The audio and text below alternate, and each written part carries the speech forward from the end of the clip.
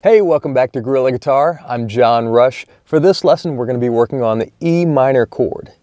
Now, E minor is a great chord. Um, minor chords are a little different than major chords because they've got a lowered third. So the third note in the scale is lowered by one uh, half step, which is a fret. So all that's kind of confusing stuff you don't need to know about now, but just know that a minor chord has a darker feel to it. It's got that mystery, that um, kind of, here's the major chord, here's the minor chord. All right, so for this one though, uh, we're gonna learn it two different ways. So I want you to work on two different ways to play this. We're using all six strings. So first, I want you to work on doing it with uh, just fingers one and two.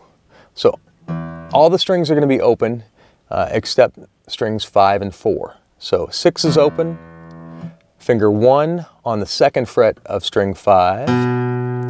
String four is going to be the second finger on the second fret. And then three, two, one are open. So here they are all together. Make sure they're all ringing true. Make sure you're pushing down behind the fret so you're really getting that to ring true. Not pushing down so hard that you're killing your fingers, but just hard enough to make it sound good.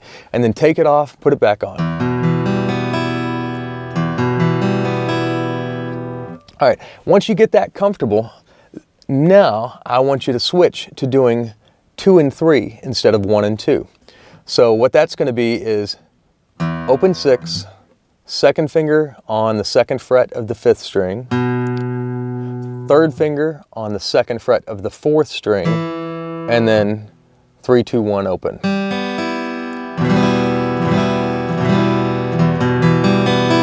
Sometimes you want that first and second finger, and sometimes you want the second and third finger.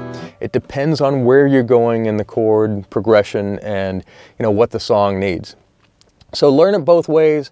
Shake your hand off, put it back on, shake it off, put it back on. Build that muscle memory, and uh, you know you'll be playing this one in no time. This is a great chord, and that's the E minor chord in open position.